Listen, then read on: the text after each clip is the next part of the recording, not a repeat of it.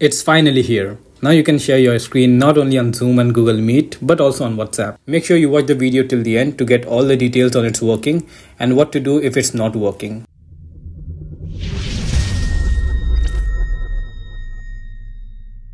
The WhatsApp shared screen feature is officially rolled out. iPhones, Android, and desktop as well. All of them can use it. WhatsApp screen sharing is going to be a game changer. Now, why do I say that? First reason, there are over 2 billion WhatsApp monthly active users. Second, it's available in more than 180 countries worldwide. This feature is enabled only in video call mode. So if you call someone in the voice call mode, it won't work. You won't get that icon to share the screen. So when you're on a video call, you will be able to see a share screen button right there.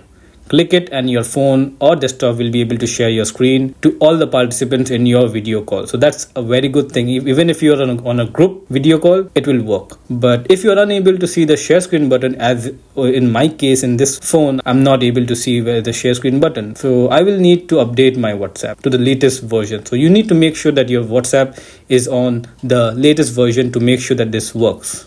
So once you're on the latest version of your WhatsApp, you will be able to share your screen in the video calls.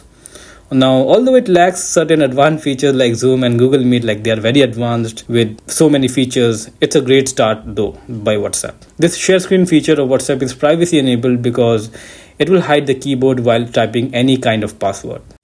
So I think it's a great step by WhatsApp. Why? Because you don't need to install Zoom or Google Meet for any kind of meeting that needs your screen to be shared. You can just use your phone, your desktop, anything because WhatsApp is almost used by everyone. So it's a great step and I personally think it's going to be a game changer. So what do you think?